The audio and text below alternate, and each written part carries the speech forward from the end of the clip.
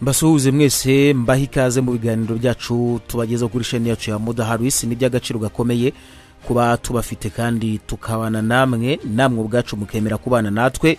Uyu munsi mu biganiro byacu abayahudi bariye amavubi cyangwa se bariye karungu.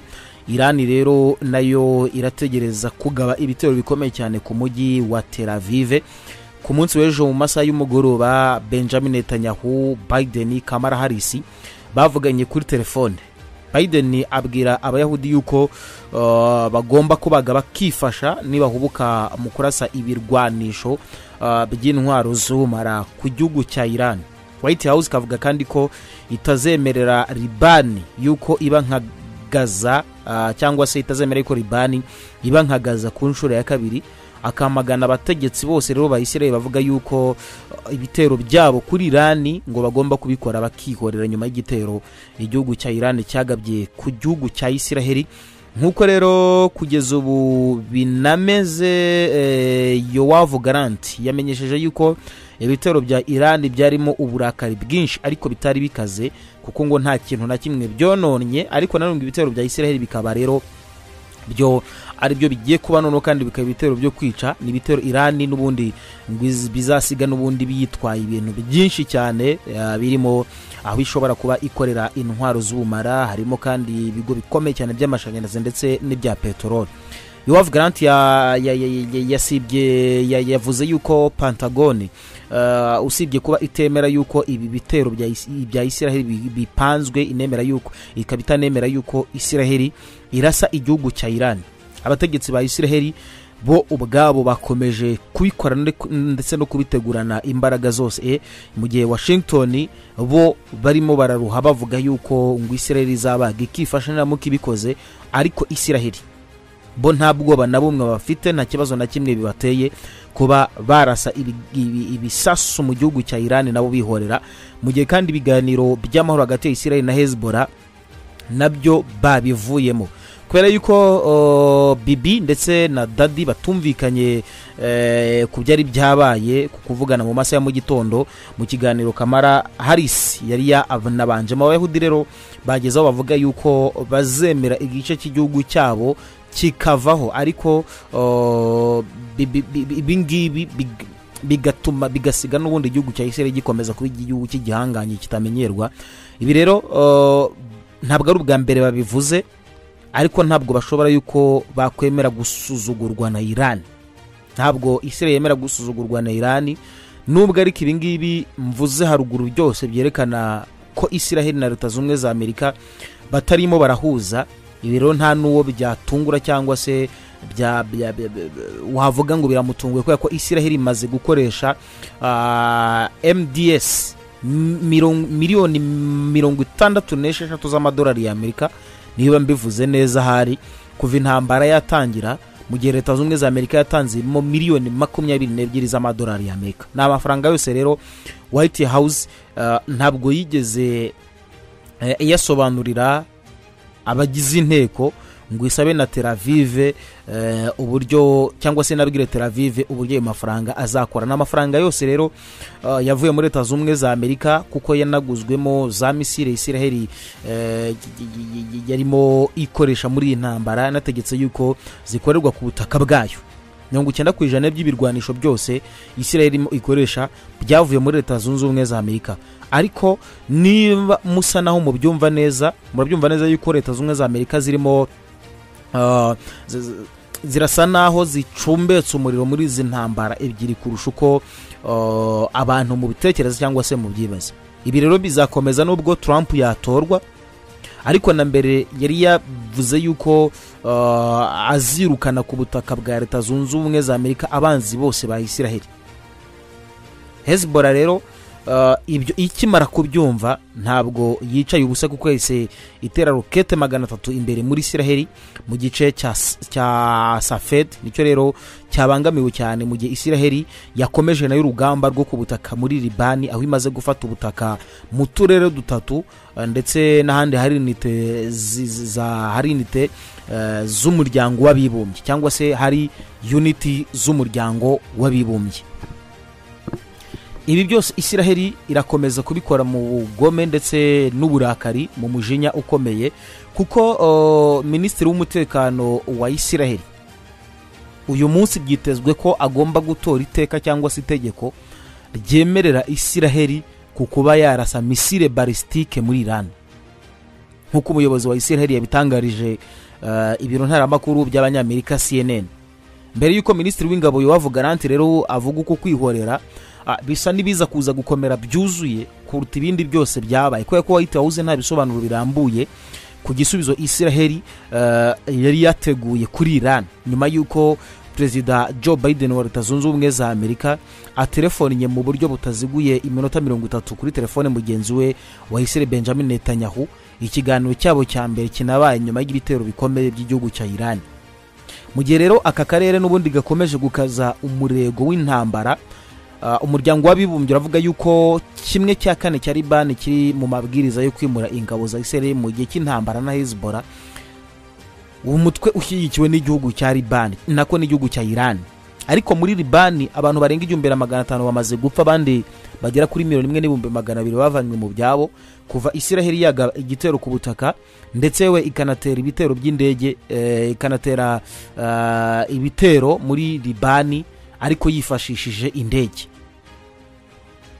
Ukwihorera rero gukomeye kwa isiraheli ku gihugu cya cya irani kumaze igihe gutegurwa ku buryo nta muntu n'umwe kwatungura.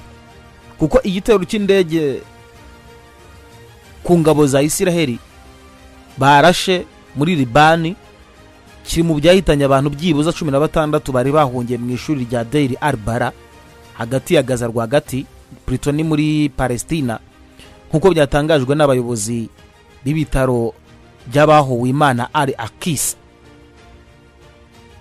cnn rero ivuga ko ingabo za isiraheli idf ari zo zagakwiye mu by'ukuri gutanga ibisobanuro birambuye kuri iki gitero zishinjwa yuko zagabye muri gaza. Urugamba rurakomeje kandi ruranarimbanije kugera n'aho uyu munsi uko kutumvikana kwa isiraheli ndetse na leta zunze ubumwe za amerika kugiye gutuma isiraheli ifata umwanzuro ntakuka wo gutera misile balisitike igihugu cya irani nyuma yo kurasa ibisasu muri isiraheli bigahitana abayahudi benshi n'abatari abayahudi. Kandi amerika nubwo ibi ngibi byitarutsa irabyitarutsa ariko ibizi neza yuko hari abanyamerika benshi bamaze kugwa muri iyi ntambara. Banaguye no mu bitero umutwe wa irani nako wa hezbollah ukora muri libani wagabye kuri isiraheli barabikora birengagije yuko irani yarashe muri isiraheli amagana menshi y'abayahudi amagana menshi y'abanyamerika yose akahatakariza ubuzima. Ibi rero na byo bituma isiraheli ikomeza kugira umujinya n'uburakari bw'umuranduranzuzi. Twagarutse ku biganiro ku munsi w'ejo minisitiri w'intebe wa isiraheli benjamin netanyahu aburira abanyarebanoni cyangwa se abanyaribani bose arababwira ati niba mushaka yuko igihugu cyanyu kitaba umuyonga cyangwa se gihinduka nka gaza nimwitandukanye na hezbollah. Navuga yuko rero ari imperuka kuri kuri irani cyangwa se mvuze ngo ni irani igiye gura n'imperuka sinambeshye kuko isiraheli iramuka ikoresheje izi ntwaro za misile balisitike ndetse yewe n'intwaro zikomeye z'ubumara harabaho kwaduka gukomeye kw'intambara ndetse no gukomera kw'intambara. Hagati ya isiraheli ndetse n'igihugu cya irani irani na yo itaremera kuva ku isi. Netanyahu mu magambo ye yaravuze ngo banyarebanone ni mwebwe mufite amahitamo y'ahazaza hanyu ni mwe mufite kuraga ibisekuruza byanyu bizabakomokaho inzira nziza cyangwa se inzira nzima. Mwirinde yuko abana ba libani n'abanyayisiraheli bose bazisanga muri aya mateka mabi y'intambara. Uwo ni benjamin netanyahu minisitiri w'intebe wa isiraheli. Irani isa n'iyazamuye agasomborotso kuri leta ya isiraheli. Iyirasaho biriya bisasu no gukorana n'imitwe nka hezibora ndetse na hamasi yose n'ubundi isanzwe. Irwanya ubutegetsi bw'i teherani nako bwa bw'i teravive ibyo rero teravive babona yuko batakwihanganira na gato kabone n'ubwo leta zunze ubumwe za amerika zitabashyigikiye. Kabone n'ubwo ibihugu nk'ubufaransa byavuze yuko bitagomba gutanga intwaro muri isiraheli binabaye no mu gihe ku munsi w'ejo. Ingabo za isiraheli na hezibora barwaniye ku mupaka wa libani hezibora ivuga yuko abarwanyi bayo basubije inyuma ingabo za isiraheli zari zakataje mu mirwano yabereye hafi y'umupaka. Nyuma y'umunsi umwe isiraheli ivuze yuko yishe babiri basimbuye ku buyobozi bw'uyu mutwe w'abarwanyi muri libani hasani nasira ukaba n'umutwe ukaba n'umutwe ushyigikiwe na irani hezbollah ikaba imaze n'ubundi umwaka irasa ibisasu bya rokete muri isiraheli rukaba urugamba rubangikanye n'intambara ibera mu ntara ya gaza. None mu mirwano yo ku butaka ikaba ikomeje gukwirakwira mu bice by'imisozi ya libani bihana imbibi n'igihugu cya isiraheli ni umwe rero mu mitwe wavuze yuko n'ubundi warashe za rokete nyinshi ku ngabo za isiraheli hafi mu midugudu ya rabune mu gice cy'uburengerazuba bw'akarere ko ku mupaka hafi y'inkombe z'inyanja ya mediterane. Ukanasubiza inyuma ingabo za isiraheli n'igitero cyazo.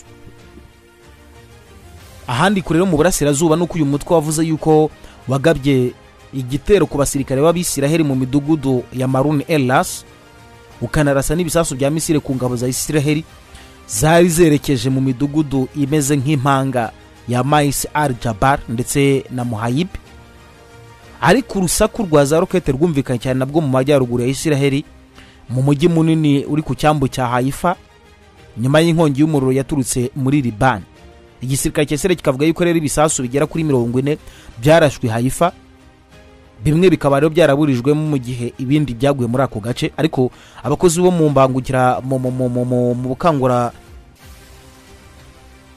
mu mbangugira gutabara za isiraheli bakavuga yuko abantu babiri ari bo baguye muri ibi bitero byagabwe kuri kiriyati shimona hafi y'umupaka batandatu rero bagakomerekera i haifa.